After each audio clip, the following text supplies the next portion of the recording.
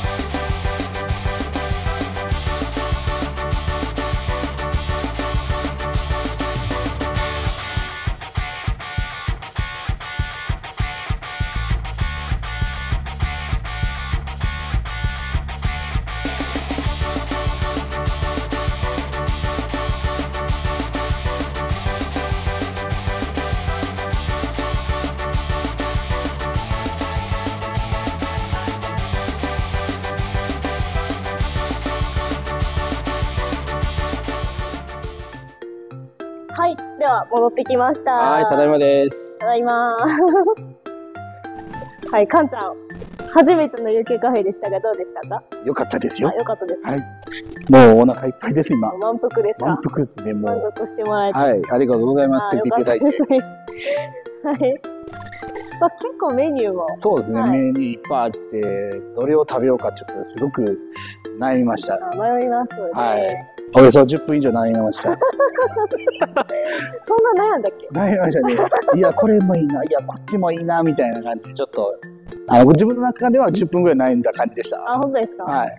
まあ、結構ジャンルとかもそうですね。パスタとかもあったんだり、あと、サンドイッチもサンドイッチと。サンドイッチもハンバーガーもあったんで、ちょっとこれもあれも食べてみたいなっていうのがありました。じゃあもうリピート確定。そうですね、リピート、また次回一人でプライベートで行ってみようかったと思います。ああ、いいですね。はいちょ。っとまた行ったら写真見てくださ そうですね。い。はい、では、はい皆さんもあの、本当メニューたくさんあるんで、好きな、そうですね。はい、ご飯を見つけてもらえたらと思います。そうですね。皆様ぜひ、ぜひぜひ、UK カフェに行ってみてください。お願いします。はい、お願いします。では、あの、今回の、初めてかんちゃんが UK カフェに行く動画でした。あはい。ありがとうございました。りがとうございます。グッドボタン、チャンネル登録、コメント、よろしくお願いしまお願いしす。ます。えーでは、次回の動画もお楽しみに。楽しみに。バイバーイ。